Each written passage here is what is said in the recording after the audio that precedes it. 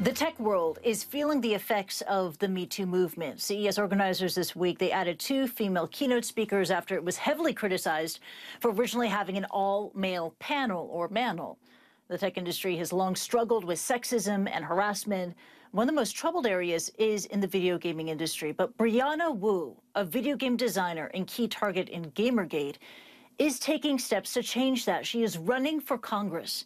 Uh, Gamergate, as you may recall, was an online hate movement in 2014. It threatened to murder or rape several women for simply being in the video game industry.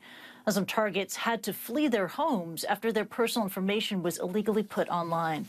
Now, let's hear more about her campaign from Brianna Wu. She joins us from Dedham, Massachusetts via Skype. Brianna, thank you so much for joining us here on the program. Um, the Me Too movement, you know, in the media sector, it's led to the downfall of Harvey Weinstein, the downfall of Matt Lauer, and many others. But the Me Too movement, it's not working in the video game industry? No, we haven't really had a single man step down uh, in our field. We've had one media figure step down, but no one in a video game development house. And I can tell you, I'm very close friends with many women in the game industry. It's not because the guys behave well in my field. Yeah, you know, at the moment, a woman in my industry, in journalism, can break the silence, can speak up, and be confident that she's going to be heard. But if a woman in the video games industry breaks her silence, does she still risk destroying her career even now? Well, I think you can look at what's happened to the careers of women that have spoken up. I could easily point to you to 10 or 15 women that have spoken up and they have found themselves targeted. Uh, you know, we had one woman that worked at Nintendo. She had everything, her entire life. She had everything her entire life come through until they found something to get her fired. And she hasn't been back to the video game industry yet. So, no, it's utterly rational, sadly, for women in the video game industry to choose to stay silent. And uh, we can change the status quo by changing policy. You're running for Congress. Tell us more about mm -hmm. your platform, especially in regards to empowering women in tech. Well, you know, I think this is one of these situations where I think that asking men to do the right thing in the tech industry isn't going to work. We need to be able to do the right thing ourselves. And, you know, for a multitude of reasons, women don't make it all the way up the chain in the video game industry. Uh, you know, there's no shortage of women getting into junior and intern positions. But when you look at where their career goes 10 years from there, you know, we're not really rising up the ranks. So, you know, if I'm elected to Congress, I certainly hope to serve on the technology subcommittee. And I want to hold hearings about, you know, hiring bias in the tech industry. I want to bring, you know, video game companies like Rockstar in front of Congress. And I want to look at why women aren't making it up the ranks. Yeah, absolutely. By putting more women in positions of power in the industry. Gamergate, um, it, again, that campaign of harassment uh, happened mm -hmm. a mm-hmm. couple of years ago. It was widely reported in 2014.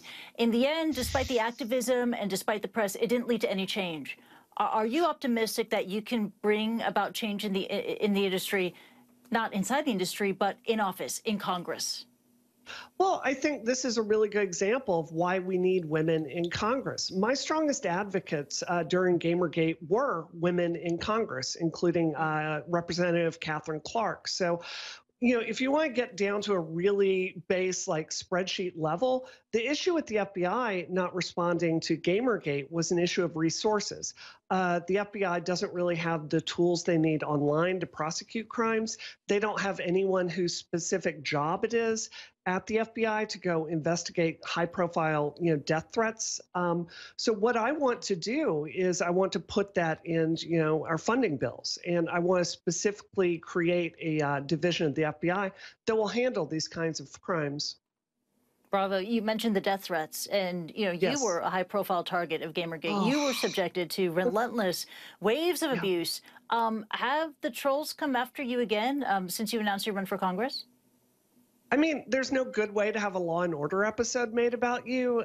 So, you know, it's it it was exhausting, and it's still it's it's so routine. You know, I was with my husband the other night, and we were doing a campaign event, and you know, I got a call from someone saying he was going to murder me and rape me. And I just, I felt absolutely nothing.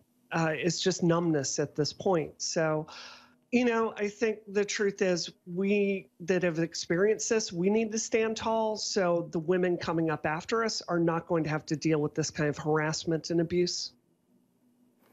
Brianna, we thank you for your activism. We thank you for speaking out, and best of luck to you as you run for Congress. Brianna, we're joining us live from uh, Dedham, Massachusetts. Take care. And that